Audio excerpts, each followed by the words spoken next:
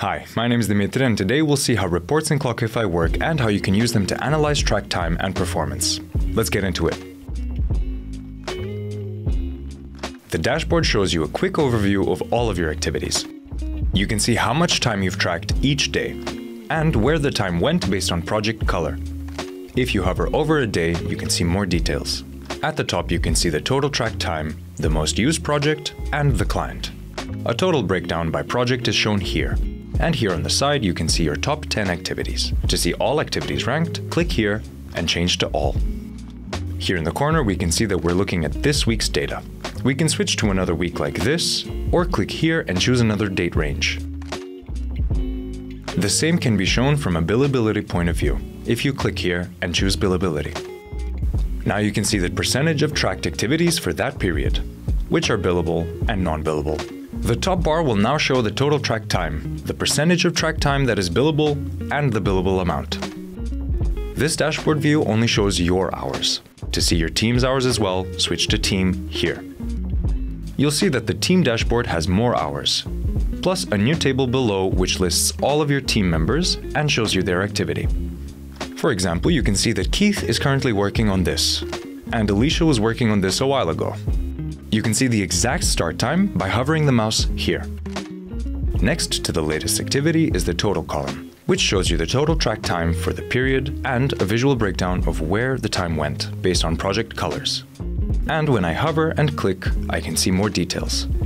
Because the table lists all your users, it can be quite useful to see which users have yet to submit their time in a certain period. You do that by looking at the total column. The column will show no activity next to users who haven't logged any hours. The table is sorted by latest activity, but you can also sort it alphabetically. Or by total time by clicking on the column name. If you use the activity table frequently, you can pin it so that it's always at the top whenever you open the dashboard. Team Dashboard also lets you switch to the billability view to see the percentage of billable and non-billable time. Now let's move on to reports. Clockify has three types of time reports. The summary report, which is for cost statistics and analysis, the detailed, which is for administration, and the weekly report, which is for timesheet breakdown. The summary report is the main report where you can analyze data. At the top, you can see the total amount of track time this week, recorded billable time, and billable amount. Besides the billable amount, you can also see costs and profit if you click here and mark both options. Here you can see how much time was tracked each day, and a summary table broken down by project below. The charts can be switched from project view to billability view, depending on whether you want to see a breakdown by projects each day or billability per day. You can also see a breakdown by other criteria by using filters in the table below. For example, you can group the report by user and project. And then the table will show you who tracked how much time on what project. If you have an estimate on projects, you can see them next to the time and amount for comparison.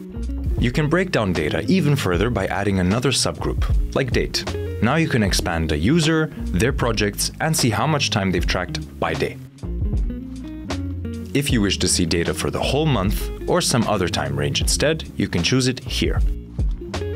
At the top of the report, you can see filters. These help you see only what you need. We'll cover filters further down the video, but in short, this is how they work. For example, if you want to only see time for a certain client, you can select it and click Filter.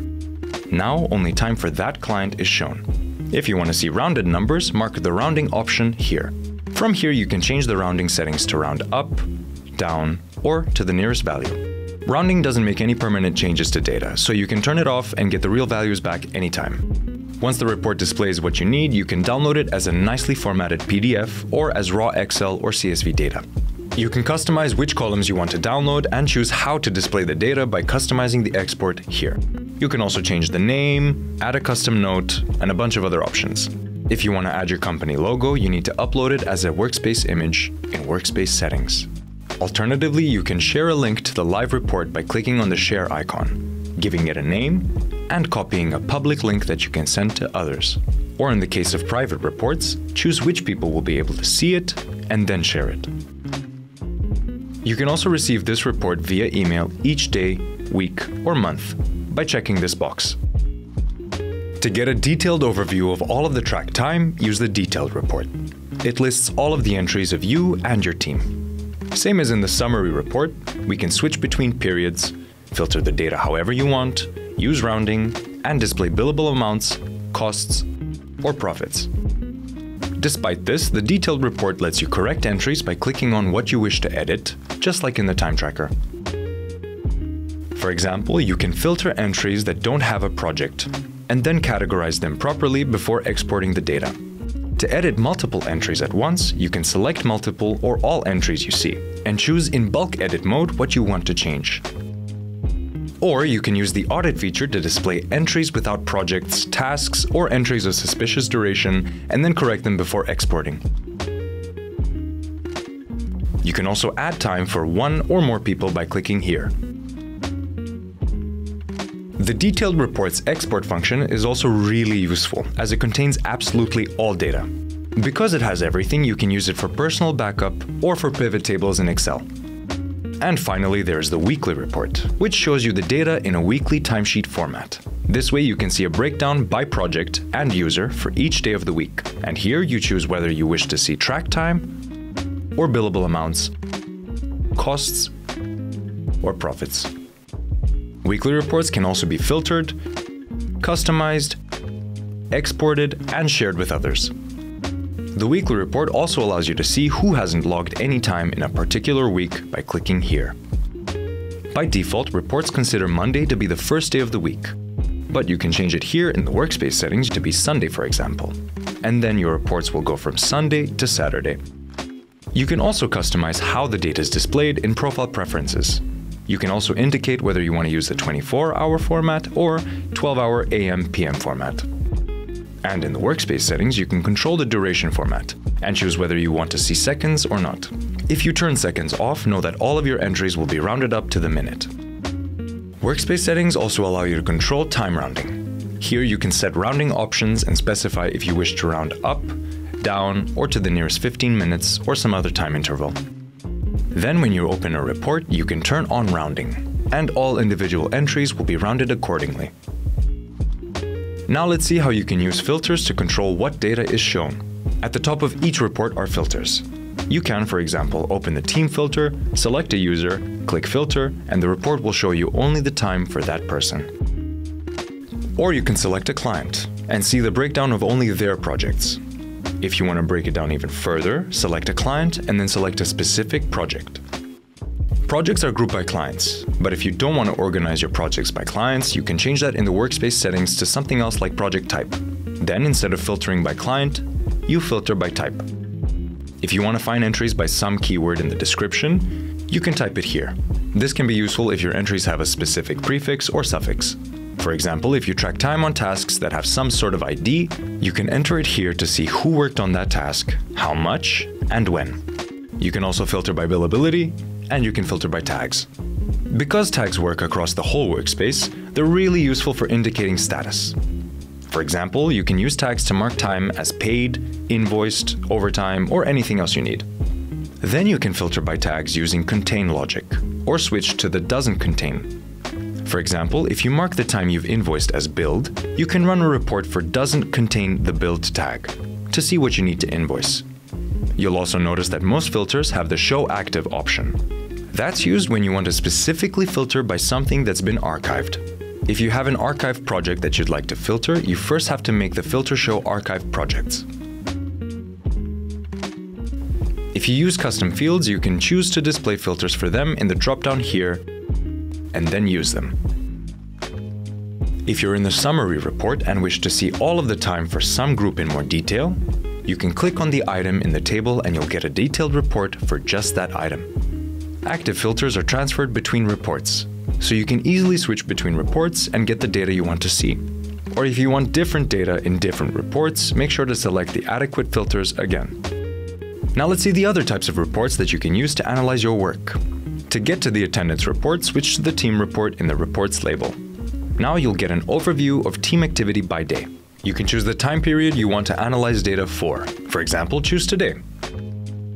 The report will list the start and end work times for each team member, their total break and work hours, their daily work capacity, overtime hours, and time off taken during the day. If you see an exclamation mark in the work column and hover over it, It'll show you the difference between how much time a person tracked and their working capacity.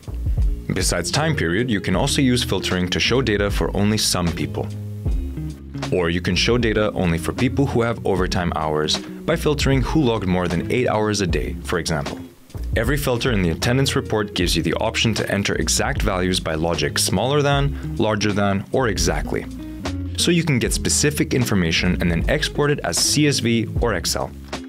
The assignment report shows you the comparison between scheduled and actual track time, highlighting any differences between the two.